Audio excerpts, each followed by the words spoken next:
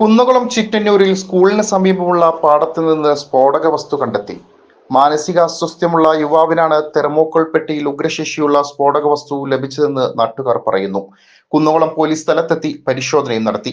വെടിക്കെട്ടിന് ഉപയോഗിക്കുന്ന തരം സ്ഫോടക വസ്തുവാണെന്നാണ് പ്രാഥമിക വിവരം. ഇയാൾ സ്കൂളിന് സമീപത്തേക്ക് സ്ഫോടക വസ്തു എത്തിക്കുകയായിരുന്നു. പിന്നാലെ നാട്ടുകാർ കൗൺസിലറെയും പോലീസിനെയും വിവരമറിയിക്കുകയും ചെയ്തു. കൂടുതൽ പരിശോധനയ്ക്കായി ബോംബ് സ്ക്വാഡും പ്രദേശത്തെത്തി. ഉത്സവ സീസണായതിനാൽ പലയിടത്തും ലൈസൻസികൾ വെടിക്കെട്ട് സാമഗ്രികൾ നിർമ്മിക്കുന്നുണ്ട്. ആരെങ്കിലും കൗതുകത്തിന് എടുത്തുകൊണ്ടുവന്നതാണോ എന്ന് പോലീസ് സംശയിക്കുന്നുമുണ്ട്. അതേസമയം തൃശൂർ പാർലമെന്റ് മണ്ഡലം എൻ ഡി എ സ്ഥാനാർത്ഥി സുരേഷ് ഗോപിയുടെ തെരഞ്ഞെടുപ്പ് പ്രചാരണത്തിന് വേണ്ടി പ്രധാനമന്ത്രി നരേന്ദ്രമോദി കുന്നംകുളത്ത് സന്ദർശനം നടത്താനിരിക്കെയാണ് ഇത്തരമൊരു സംഭവം നടന്നത്.